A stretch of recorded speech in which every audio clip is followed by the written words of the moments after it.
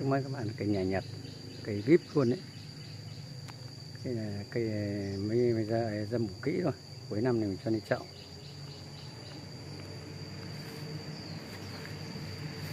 cành gốc 28 phát 40 cây đều tròn này cây dâm bổ kỹ. Cây cao 2 mét rưỡi tán 2 mét 2 tròn xoe.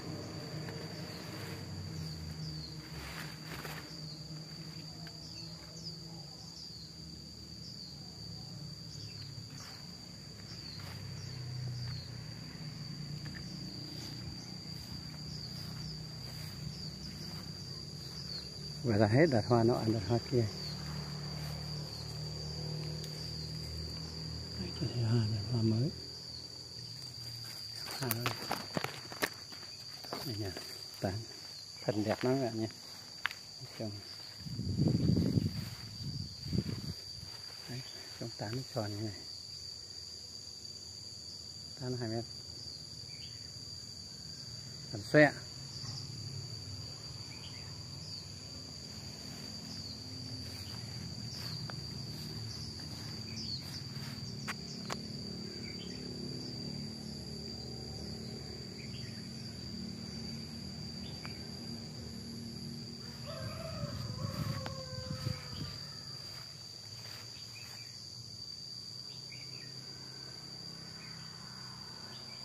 chia sẻ vẫn cây nhà nhật đấy.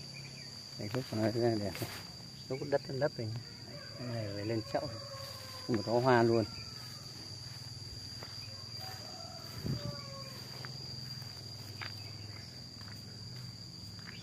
À, ok